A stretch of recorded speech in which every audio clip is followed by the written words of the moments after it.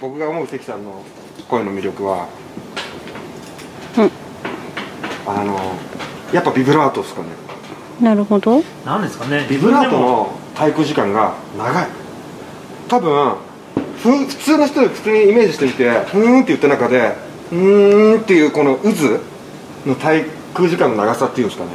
うん。あれがすげえ魅力的だと思うしそんな長くステイしたことないから聞き慣れてない人とかは怖いと思うんだよね。はいはいはい。わかります？逆に私それが良くないって言われたこともありましたからね。それはまあわかんないけどそれはいいと思うけど なんかそのそう一音一音の滞空時間の長さ？うん。これが関さんの魅力なんじゃないかなと思う。なるほど。アンさんもさだってさ「あ長いのいいっすね」って言ってたじゃん。うん長いの好きです。あそこってなんかエネルギーがぐーって渦巻く瞬間でさあうんうんうん。ちょっとこの間ツイッターにも書いておきましたけど、はい。ほらこの間イヤホンよりあスピーカーが入ってたじゃないですか。そうそうそう。結局人間って感じるからさ声帯の震えか外部からのせ振動空気の振動かじゃないですか、はうん。そこの話してるはずなんですよ。なるほど。あそうっすかみたいな感じで俺さらっと流しちゃってましたけど。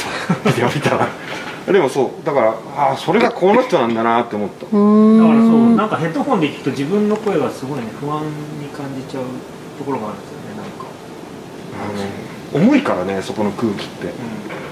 だから。単純にピッチが取れてないく聞え聞こえちゃう時もあるだだったりしてなんかすごい嫌だなって思う。なんていうのああいうのってポエジーエレジーとかいうの？ああどうなんですか、ね、あのシャンソン的なのってさやっぱ暗い部屋で一人で聞いたら怖かったりするじゃん。うん。うんあのニュアンスだよね。シャンソンいけんじゃんだって絶対。そうですね、うん。エディット・ピアフとか、あそうピアフなんかまさにそうだと思う、だからそういう感じがするね。アンさんのいいところね。あ私もですか？やった褒めてください カメラ見せていただいたじゃないですか、うんうん。うん超ハートで言ってる感じが素敵だと思った。ありがとう今日見たここさ。すハート。うん。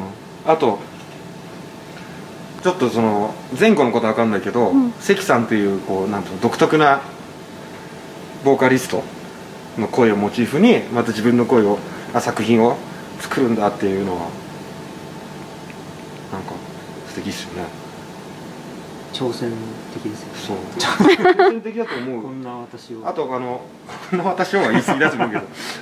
あの前回のやつが作ってる時にあの感情色で見てるっていうの感情の色？はいはうーでんあの取捨択一っていうんですか？いるいらないがめちゃくちゃはっきりしてて。ああ確かにそうですね。でもと思いました。ありがとうございます。こちらこそ。でも映像が元がないと多分取捨選択できないです。音楽だけだと分かんないです。どうなんでしょうね欲しい感情っていうのはもともとあってうんうん。うそれに近いか遠いかだけな気もするからーん。だとしたらできるんじゃないかな。なるほど。そういう。ゴールが音楽でも見えてたらできるかもですね。音楽だけだとゴールが私分かんなくて。ゴールって？いや私も自分で作っててゴールは分かんないですよ、ね。自分の曲が。ゴールない方がいいじゃんそうそうだからうん。ずっと変容していく楽しみっていうのを自分で持っておきたいんですよ、ね、そうそうそうそう。そうだから逆にこうやってあのこういうお仕事をいただいてゴールが見えるっていうのもなんか一つゲームをねクリアしてるかのような楽しみ方があって、まあ健全かもね。そう、そもそも私もやっぱテレビゲーム世代なんでなんかそこにスッといけるんですよね、うん。あこうやってこうすればこれこのゲームはクリアできるみたいな。そういう楽しみ。いやだから結構さ流動的に見えて今日のやつとかも結構しっかりしてたから。うん。ガチガチじゃんそうですね。そうそう。それはもう決まりきってる。アンさんがリードしてる、うんうん。くれてるっていうのがあるんで朝かっこいいっすね。あやったー。褒められたー。いや俺この間嬉しかったですもん面白い人来た嬉しい。まあまあミュージシャン界隈ではなかなかないタイプでしょ、う。んでしょうね。へみんなえやっぱそこら辺ふわっとしししちゃってるからあいいじゃんいいじゃんとか言っちゃう、うんなるほど。あるよね。そう明確にこうじゃないといけないっていうビジョンを持ってるミュージシャンって割と少ないんじゃないかなと。そう思う。へえそう思います。なるほど。なきゃいけないわけじゃないけどね。いやそうそうもちろんもちろん、うんはいあんさんの歌聞きたいね。それはやめた方がいいですよ。うん。一回やってみた方がいいですよ絶対。いや まずまずやめた方がいいですよ。作る上でも。うんうん。俺一回やってみた方がいいとマジで思うえー、編集ならまだやってみたいなって思いましたけどこの間あ一緒にやってもらって。このわいわゆる音工さんとのお仕事とかもあるわけじゃないですか、はいはい。でまたちょっと違う毛色のうん。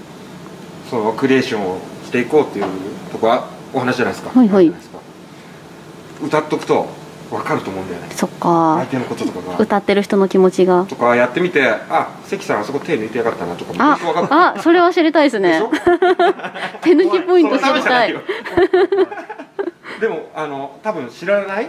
うんうん確かに。ことが減ってきて好奇心あるじゃん。演者側の気持ちが分かるといいかも。あとさっきのピアノすげえ素敵だったし。あやった。ありがとうございさんのますピアノは素敵でしたよ やった。今日はなんかめっちゃ褒められてますね。あいいですね。関さんいつも褒めないからすごい嬉しいです今いや褒めた方がいいでしょ。日そうですよ。褒めた方がいいですよ。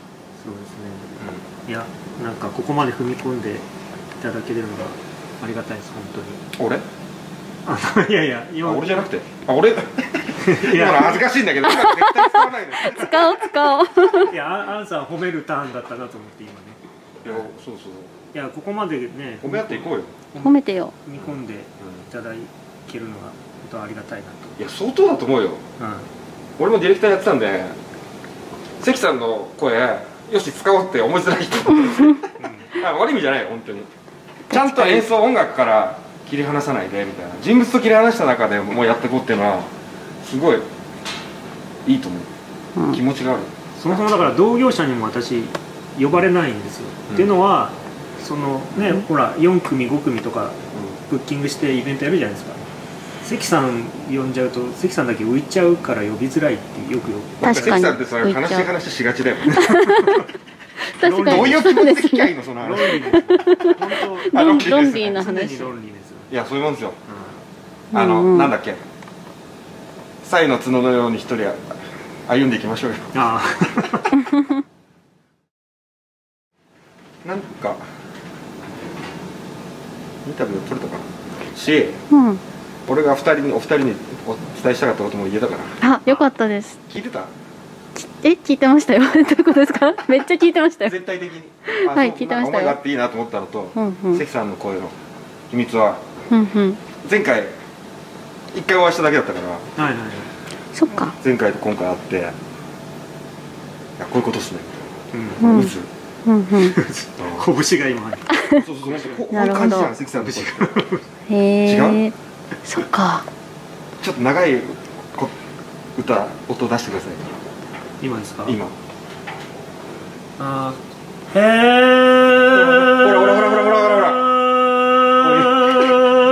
こういう感それそれまあ揺れちゃうもう自然と揺れちゃうんですよね。それってはあんまりポップスに慣れ親しんでたり90年代とかのオルタナ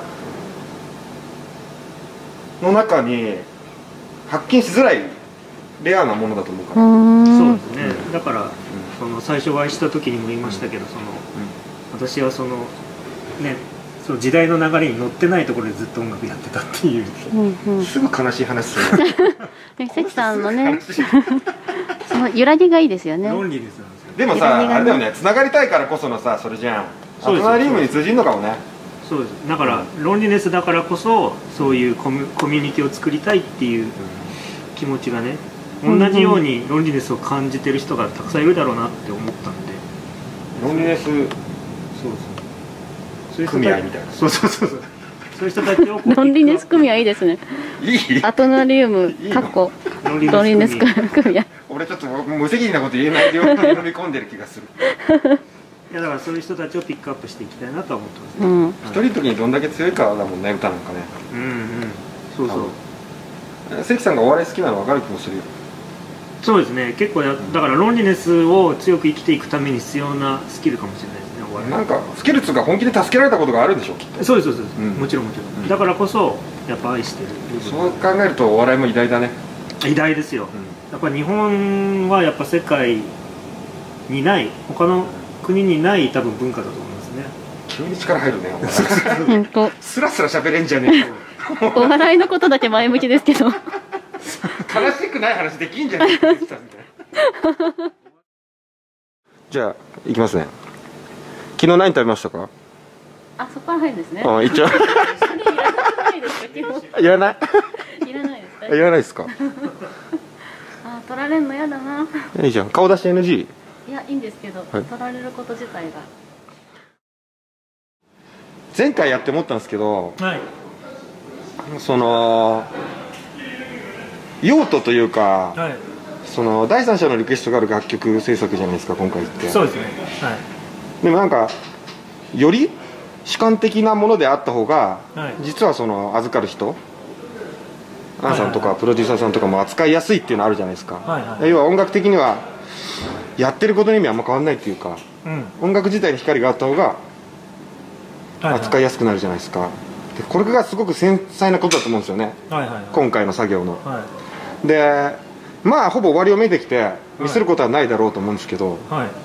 そういったなんか難しさっていうんですかね。いつもの制作と違った感じってどんなふうに考えながらやりましたか？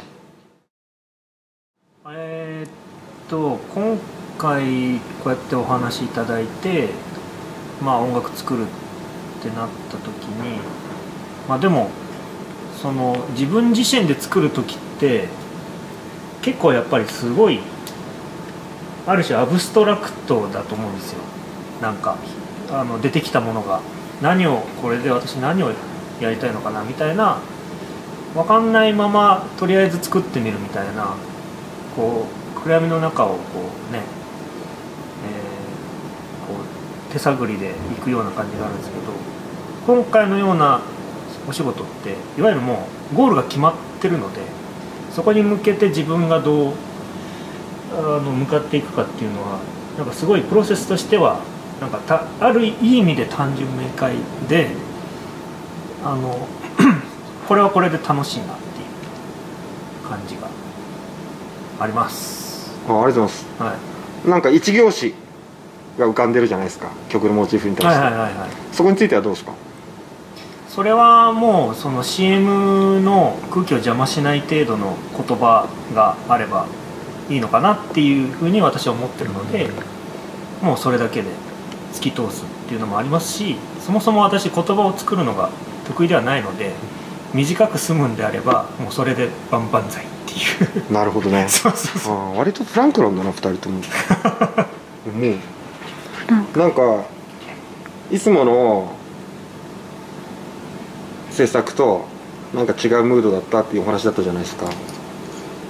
いつもの制作？関さんと？アブストラクトな？感じではいはいはい。あはいはい。自分の曲より作るよりなんか違ったよって今お話だったじゃないですか、はいはい。はい、アンさんが今回あのリクエストでうん、関さんにプレゼントしたかったのってそれですか？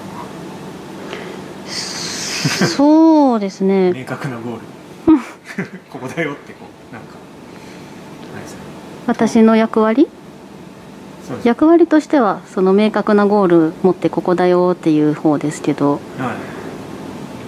うん。でも基本は私が関さんの曲を自分の作品の中で関さんの曲を入れたいっていう。私がプレゼントされてる方だと思います。いけ。よいしょ。じゃあプレゼントし合いじゃん。でも私あげてることあんまりないですもんね。いやいやいや。いや今のお話ですよね。音楽家がいろんなモチーフでこうもらったっていうのは大きなプレゼントですよ。そっか。だといいけど新たな引き出しがマジな、うんっていうこれちょっと綺麗な話すぎる。チャレンジでしょ？きっと。うんそうですね。そういつもいつもじゃないけどあの関さんの声を割と切られがちだなって最近思ってあの俺編集やらせてもらったじゃないですか。オフライン出して。これ切ってほしいと思われるなっていうポイントそう あ声るんだよね。声が強すぎて。ナレーションとかさうんうん。そうなんですよね前のやつはナレーションめちゃめちゃ当たってたから特にそうだったんですけど今回はあの歌メインなんではい。ガンガン歌でやっていいと思います。ほとんど入れてないですけどね。そうでしたっけ？いやいや入ってますよ入ってますよ。歌歌がメインっていうか声がメインみたいな構成だし声顔のアップのところに声が入ってくる構成ってことはもう声聞けってことですよ。ああそういうことか。なんで見てる人はうんうん声に集中するからめちゃめちゃ関さんの声が立ってきていいと思います。そっか。この声の人は誰みたいな。その CM を見てる人は嫌顔なしに歌声をうん。こう意識して聴くっていうタイプの CM になると。そうですね。音楽で持ってるところが多い CM になると思います。なるほど。それはありがたいですね。そう。音楽ものになりますねそういう方が関さんすごい得意なんだろうなとは常々思ってたんですけど。いや多分そう。CM として多分需 CM に要がない。おいては。需要しとるやんかい。思っておりますので需要ね。値がしとるやん具合が需要しとるやんかい。なんなん？いつも。あいやありがたいです、ね、と思ってるんですけれど。いいねあんさん。もうだからあれですよ室井室井さんとね青島みたいな感じですよ。そうかっこよすぎないですか？現場の人間とその上の人間とね、はい、そうかな。なんか現場と現場じゃないですか？あ現場現場です、うん。私現場ですけど。私はほらそういう力がないからそうやってメディアにねあの自分の。引きすぎじゃない？これから持っていくでしょ？アドレナリンはうんうん。そうですかね、そういう。そう思ってた方がいいですよ。そう言ってく天れると。下天下統一していきましょう。天下統一天下取っていこすごい。シミュレーション光栄のシミュレーションゲームみたいな感じになってきましたあ信長の野望？信長の野望。う そっちか。それか。世代っすね。ああいいですね。なんかなんだかな。ここの社長もさすげえマジで0点連発するようなあ小学校から一緒なんですけど。へえ。ああそうなんですね、ああそっかそっか。0点連発するような男だったんですけどうん。どうやって取るの？それみたいな0点ってだけど信長の野望をやってたから日本史だけは100点取れてた。わそういうやつ。すごいピンポイントじゃそないうです0か100かだった。か室町時なるほど代ぐらいの。そうそうそうそう。そこのそこだけ。そこら辺じゃないと100点取れない。すげえバズさん。ああ信長やってっから。かっこそい。いの調子で頑張ってって俺小学校の時思ったんでここそれが社長ですここ。いいですね。室町過ぎたらまたそういう0点人が0点だっ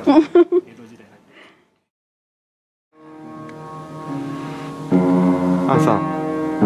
一回止める。一はい。回止めて、いいとこから行きましょうか。ゆっくり。ゆっくりなんていうの？たっぷり。はい。どうぞ。う